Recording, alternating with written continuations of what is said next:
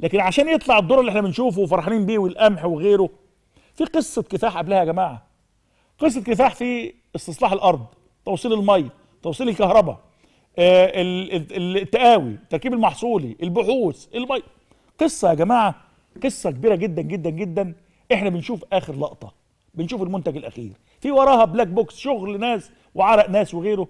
لازم ندي الناس حقها عشان خاطر إحنا فعلا بنعمل شغل فعلا الدولة بتقدم إنجازات أنا أراها غير مسبوقة وده بيزعل ناس يخبطوا رأسهم في الحيطة.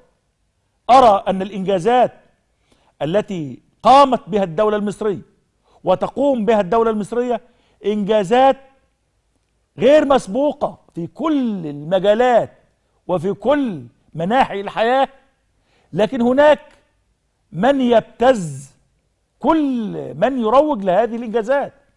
إحنا بنتعرض لابتزاز دائم. بقول اهو إحنا من نتحدث عن الواقع وعن الحقيقة اللي بننقلها لحضراتكم. يعني أنا بنقل لحضراتكم كلام بالصوت بالصورة بالفيديو. أنا بكون موجود في موقع الحدث وبقول لزمايلي دايما يعني أنا يا جماعة بروح افتتاح. بكون موجود شايف بعيني مش سامع بوداني. وباجي بنقل لحضراتكم بنقل في نفس اليوم عايز أنقل في نفس اليوم. ولذلك ببقى حريص ان أشوف الحاجات دي بنفسي وأجي أقول لكم عشان الناس تعيش اللحظة ويعرف إن البلد شغالة مش نايمة. علشان أقول وانقل لحضراتكم ما أراه بعيني أتعرض أنا وزملائي لابتزاز صريح وضيع ورخيص من كتائب جاهزة مجهزة للهجوم على كل واحد بيتكلم يقول الدولة دي ماشية صح. عشان أقول الدولة ماشية صح عشان أقول إن عندي إنجازات حقيقية. عشان أنقل لحضراتكم مشروع في الزراعة ولا في الصناعة شوف التعليقات تحت. بص عليها وشوف.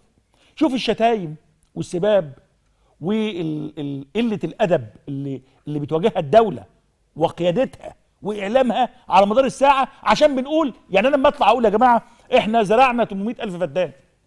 شايفهم بعيني. يعني أنا شفت بعيني الزراعة ونقلت لحضراتكم وأنا قاعد مش في الاستوديو قاعد في في في المزرعة في الحقل في الأرض في الغيطان مع الناس. كلم العمال المصريين المهندسين وبنقل لحضراتكم بروح المصنع بقعد مع العمال والمهندسين والناس وبنقل لحضراتكم بقول اللي بشوفه وبعلق يطلع تحت آه ما هو التطبيل آه ما أنتوا بتاخدوا مش عارف إيه. يا سيدي أنا بكلمك. أنا لو أنقل لحضراتكم في مرة عايز أتجرأ مرة وأنقل لكم كده تعليقات الناس أو سباب البعض أو شتام البعض أو تهكم البعض يمثل ابتزاز رخيص لكل من يتكلم بالحق عن الدولة المصرية.